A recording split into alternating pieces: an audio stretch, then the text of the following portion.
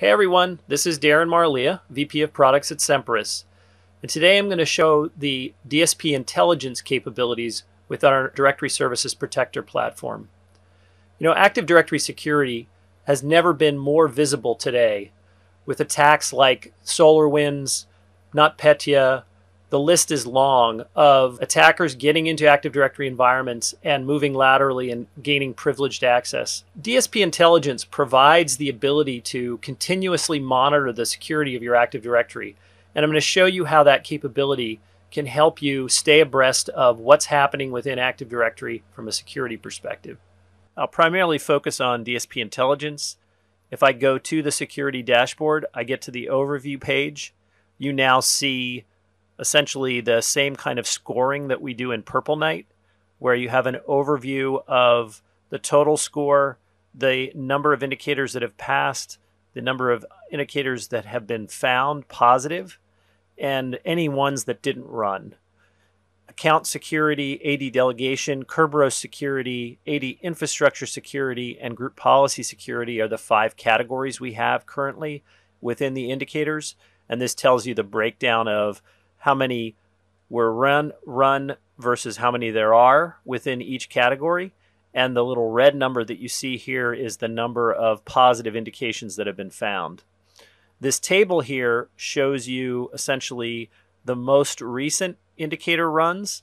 And in fact, you can search or sort by this particular column, first found or last evaluated, and you can show the very most recent ones the first found column tells you when it first fired positive, and the last evaluated tells you when it last evaluated or last ran.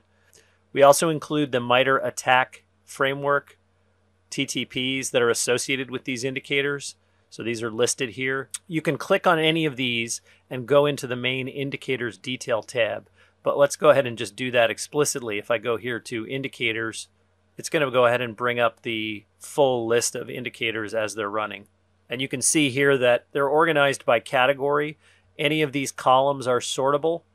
I can filter based on any of the columns. So whether if I want to see only enabled or only disabled, severity, if I want to see only criticals, for example, if I do that, it will show me only the indicators that have a severity of critical regardless of whether they've passed or failed or been found and add new filters. So you could, a customer, for example, can filter based on MITRE ATT&CK TTPs. So let's say MITRE reconnaissance. I want to see all of the TTPs associated with reconnaissance. You can also search on keywords. So if I search on Kerberos, it will filter the list to show me only Kerberos, you know, the keyword Kerberos. So any any indicators either on the category or on the name. So lots of flexibility in terms of being able to display indicators compared to earlier versions.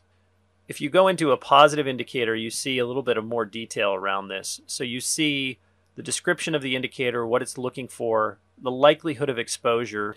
So as you can see, this gives some detail around the score, the weighting, the schedule for this indicator, and then if I click on run history, it will show me the last, oh, I don't know, maybe 10 or 20 indicator runs and the results that were returned for each run.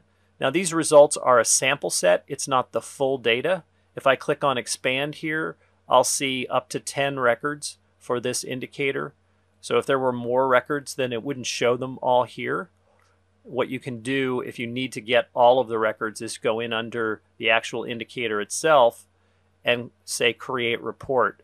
And then that report will get generated into a separate file and I can go to that file and open it up and see all of the results for that particular indicator.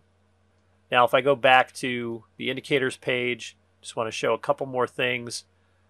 So if I go in I can see remediation text. This, this will tell the user what they should do about this indicator.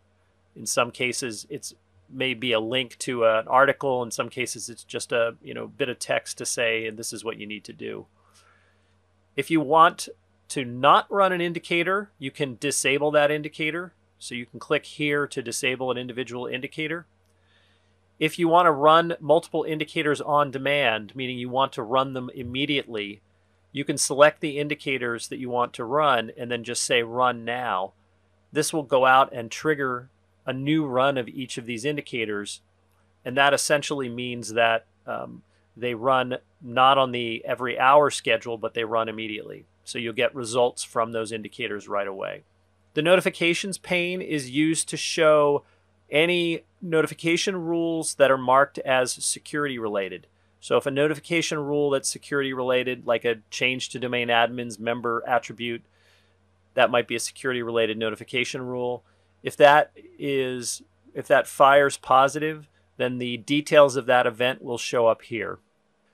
Now, one other thing I want to mention is that when we have indicators firing every hour or so, we actually record each of the runs of indicators into the event log in a new custom event.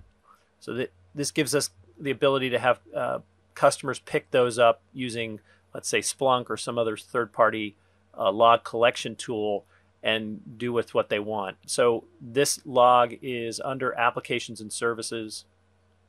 And if I go in under Semperis DSP Security, you'll notice all of these events are in here and security indicator execution start, found, info around it, execution completed. Each of the indicators will fire these events. The indicator found event means that this indicator found positive.